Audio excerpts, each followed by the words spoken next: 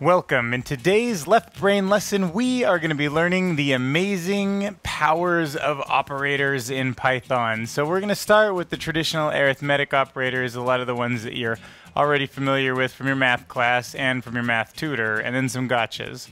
Then we're going to look at the comparison operators, which are the equality ones, greater than, less than, equal than. Then we're going to look at the assignment variables, a very important thing that we're actually already familiar with, whether we knew it or not. Next, we'll be looking at the identity operators to find out is or is not something what it says it is. And taking that a step further, afterwards, we'll look at the equality, which is similar but a little bit different, and you'll see why.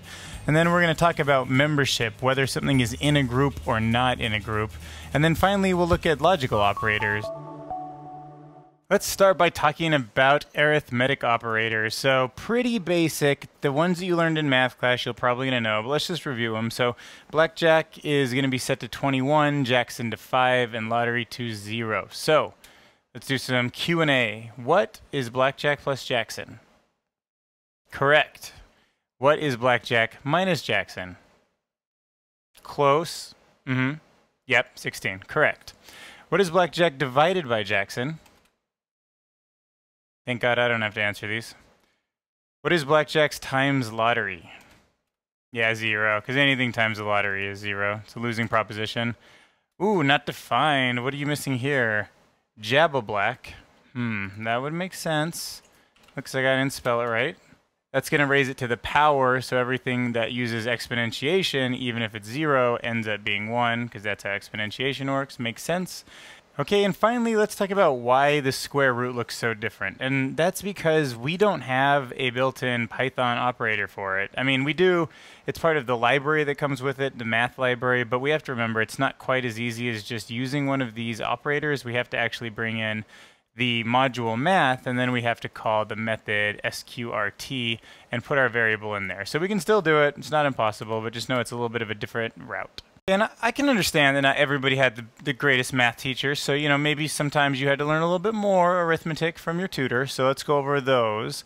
And just in case you need a refresher, the double whack, which is uh, kind of the Urban Tech Dictionary version for a forward slash, a whack. It, blackjack, whack, whack, Jackson is no remainder division, meaning we will end up with what?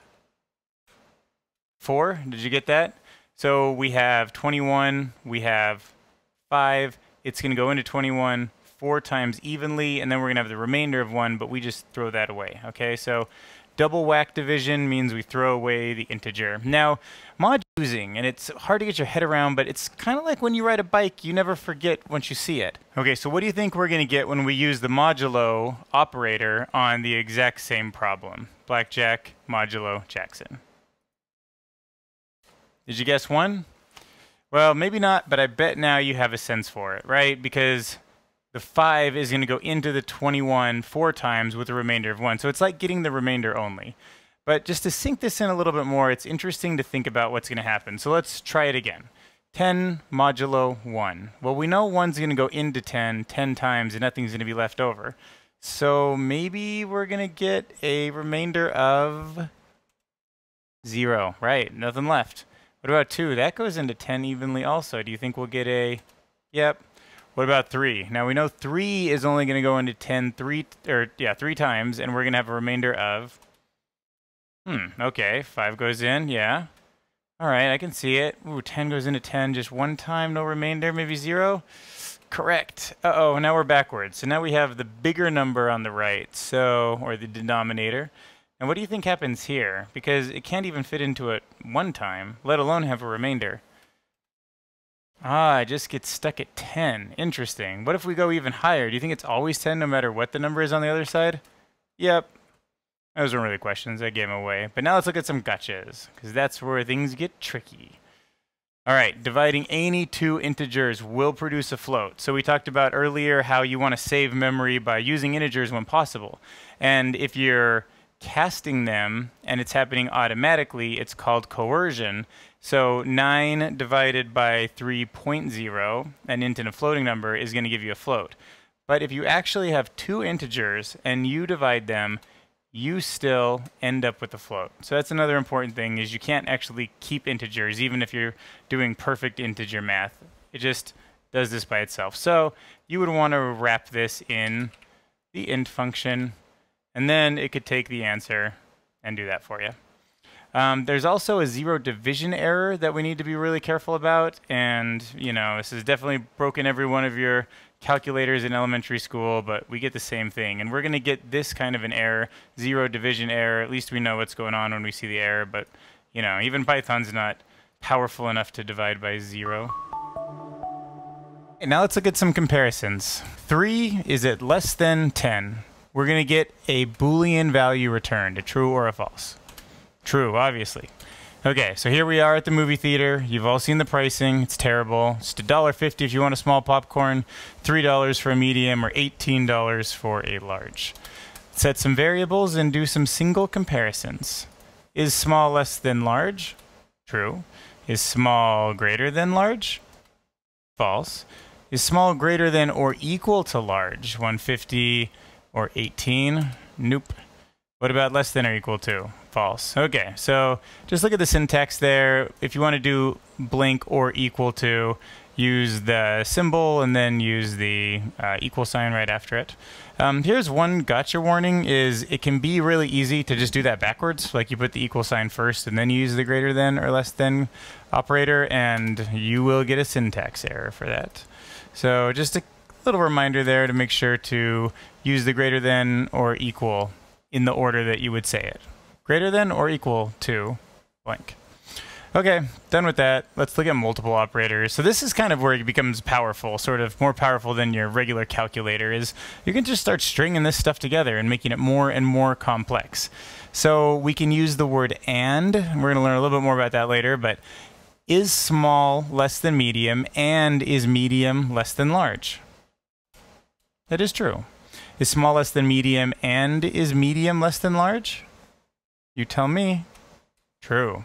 Is small bigger than medium and is medium less than large? False, right? Small is not bigger than medium. What about small being less than medium and medium being less than or equal to medium? Yes. Small equal to medium. Well, we haven't seen this yet, but double, you're going to see this is an equality operator. Um, and the double equals is saying, is it exactly equal to? So remember, the regular equal sign, that doesn't work. That's what gives us an assignment. So double equals is saying, is small exactly equal to medium, and is medium less than large? False. Okay. I think you get the picture. Now let's look at a little bit of mixed up stuff because we can do uh, some arithmetic operators right in the middle of these comparisons. So imagine small plus small plus small, that's $1.50 times 3. Is that going to be, once it's totaled, less than the medium of $3? And is the medium going to be less than the large? False, right? Because this totaled up to be more than $3. $1.50 times 3. What about when we throw the parentheses around it? Okay, so now we have small plus small, and then we're going to multiply it by small. Then is it going to be less than medium and less than large? Take a second. False. What about if we do is small less than medium or is small less than large? Or is a little bit different than the and, so we only need one of these to validate to true for the whole thing to be true.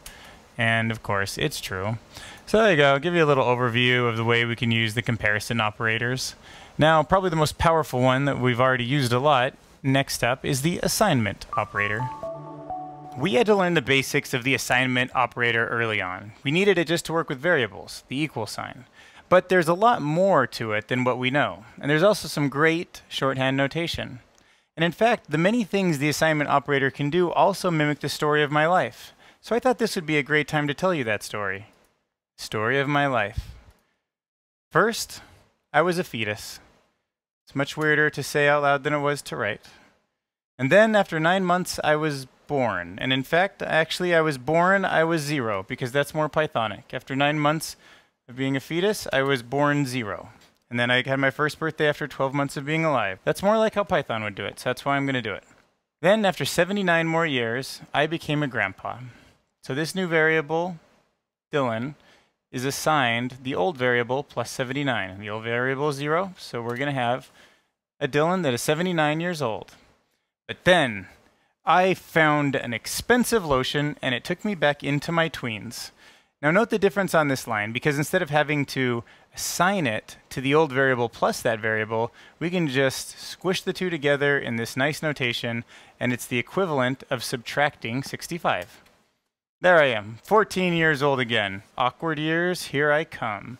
But then, after twice that amount of time, the multiplication, I found love at 28. Identity operators are really powerful, and I find them easy to understand in the terms of just simple English. Okay, so we have is, right? Bip is equal to bippity, bop is equal to boppity, bop is bip. It's kind of saying like, are these the same? Is bip equal to bop? False. What about bip being equal to bip? True. And what about if we use the is not? So it's just as simple as saying, is bip not equal to bop?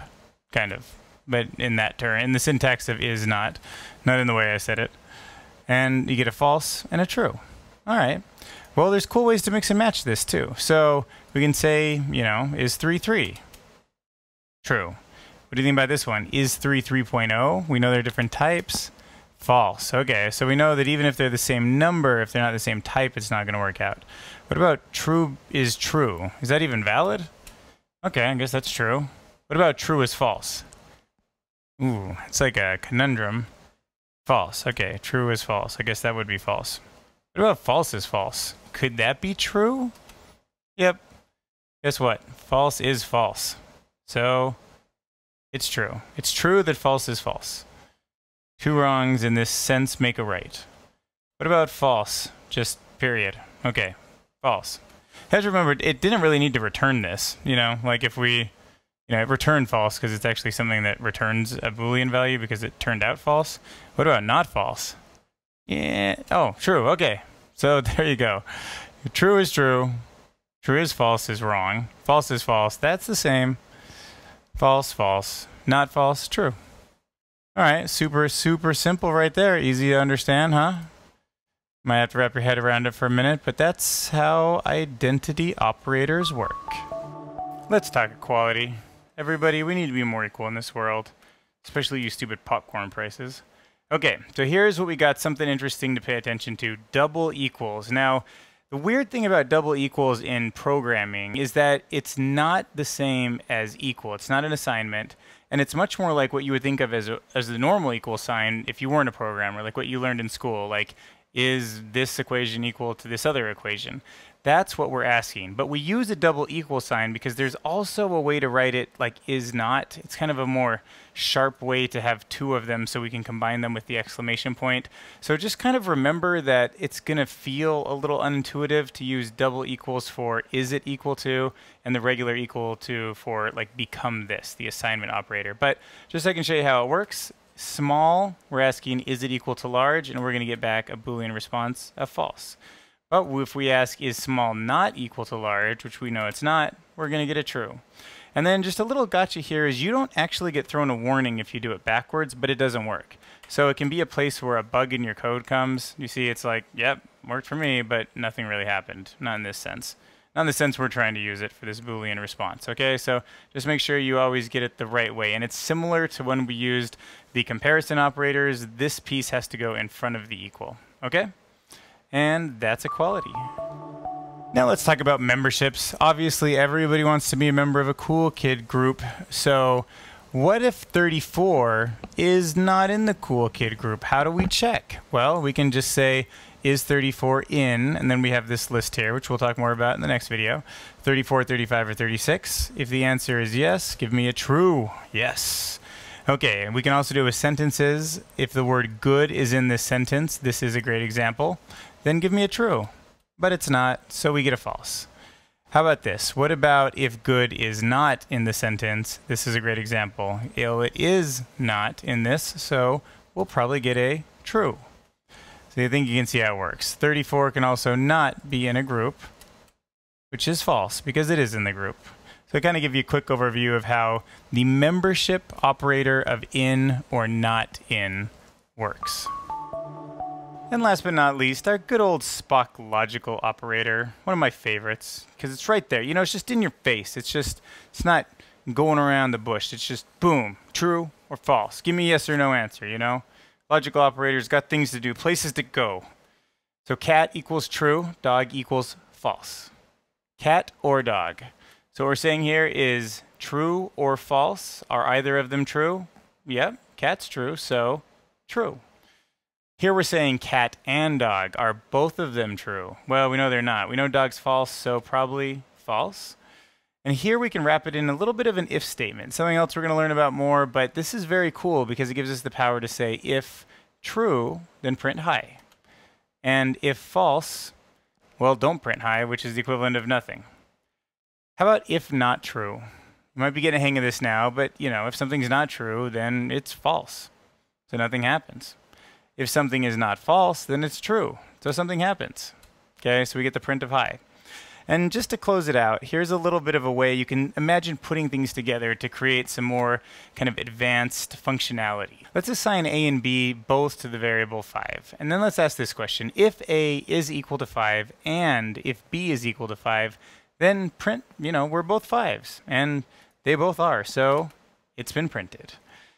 And we can also use it the other way. We can say if a is not 5, okay, which it is, so that one's going to come out false, or if b is equal to 5, I'm going to change that right now, and we're saying that this one's evaluating to true, so either this one or this one evaluates to true, this one's false, this one's true, then give us another print. Boom.